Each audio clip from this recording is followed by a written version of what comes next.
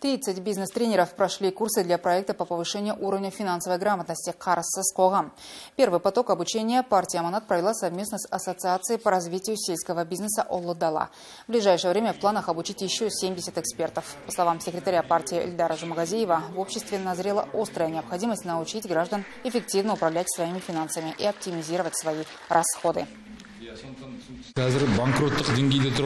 Полтора миллиона казахстанцев находятся на грани банкротства, а более шести миллионов человек не могут вовремя выплачивать долги. Поэтому партия «Аманат» приступила к обучению должников. Из 100 экспертов мы отберем 80 и отправим в 8 регионов страны. До конца года они должны обучить 80 тысяч людей.